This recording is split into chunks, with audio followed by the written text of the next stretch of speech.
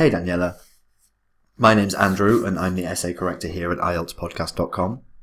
Thanks for getting this trial correction on international marketing. Now, I have a few things to talk about with your essay because it doesn't follow the correct format. Um, but also you've slightly misunderstood the question, but there are some areas in which you have sort of come close. Um, so this, what this question meant, the, the type of question that this is, is discuss both views and give your opinion. So one view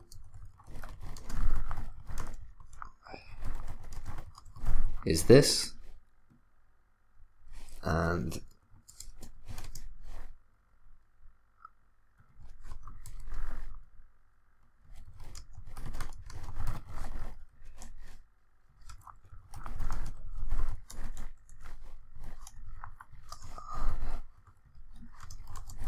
that. So what we need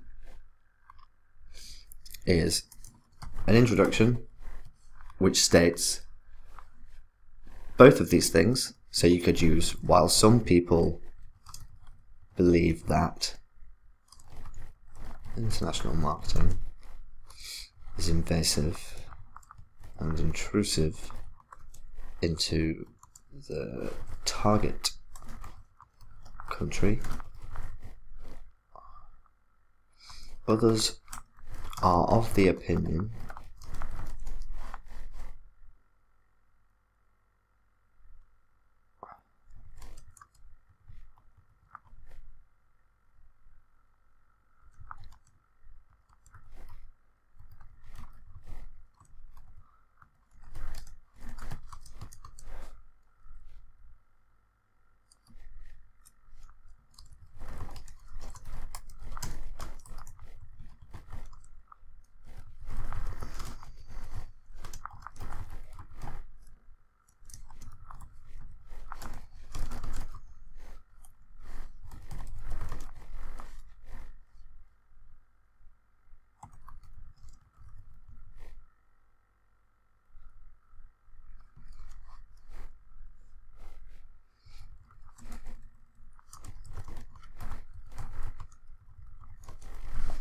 Let's have a look, one sec. What do you actually think?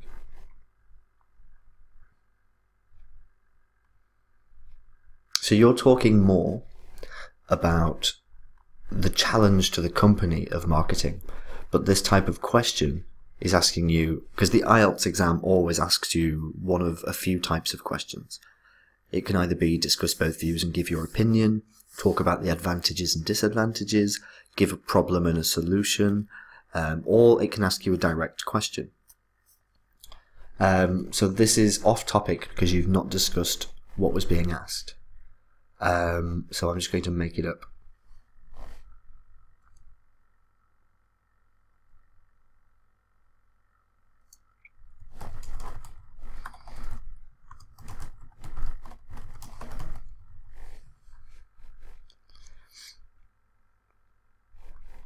So now what we would be required to do is discuss why some people believe that international marketing is, is invasive and intrusive.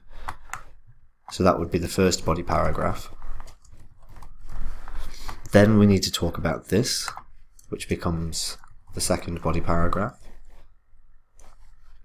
And then we would have a conclusion.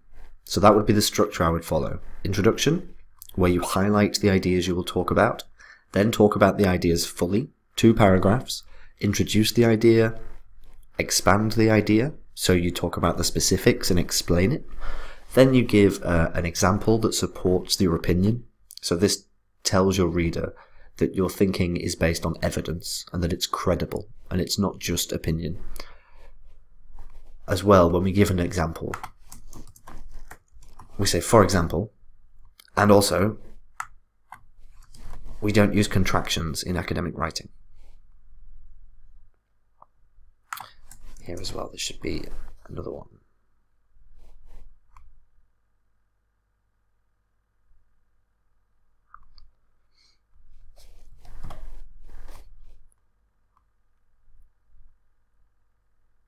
that's not necessary.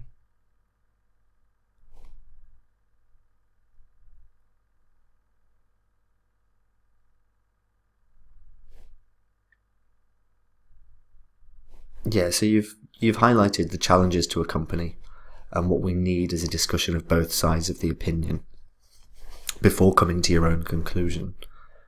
And this means being unbiased. Discuss one side of the argument, discuss the other side of the argument, and then tell us what you think. Um,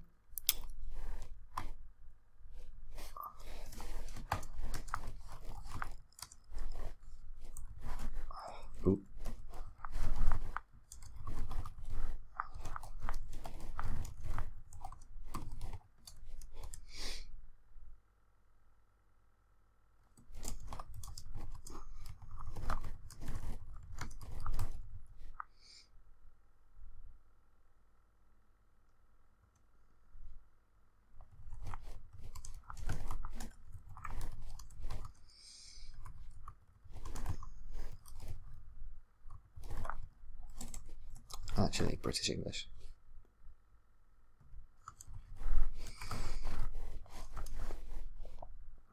Furthering the process of globalization.